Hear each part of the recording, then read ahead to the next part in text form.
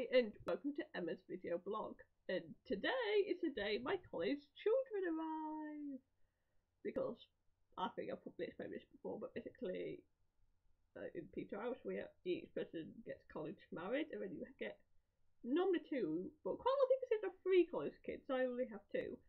And then of these like when you, the second years look after year two or three first years and stuff. And my two college children arrived. Boys, one of them has already arrived.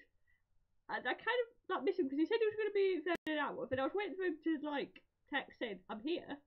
But then I went to a lunch and I've been waiting for 45 minutes thinking, he's late. And then turns out I'd missed him because his phone was out of battery and I got to lunch slightly late. And yeah, so well, we vaguely saw him. And then yeah, and then the other kid is coming He, put, he, he hasn't said when, so I'm waiting for contact. And I've told um, people on Bludge, like, I'd like to contact me if he, he does arrive, because I'm not missing both of my kids coming. Um, but yeah, so, basically, like, it's been quite overcast today, because it's been quite nice weather recently. Because yesterday morning was down at Addenbrooke's again, visiting um, patients for Prepared for Patients B.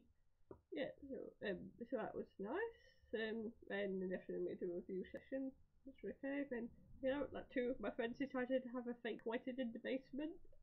And then we hung around, then went to Spoons, then went to college bars. I said, yeah, so it's nice, yeah. Because most, well, most of the, like, second years and stuff are back now, or possibly almost all of them.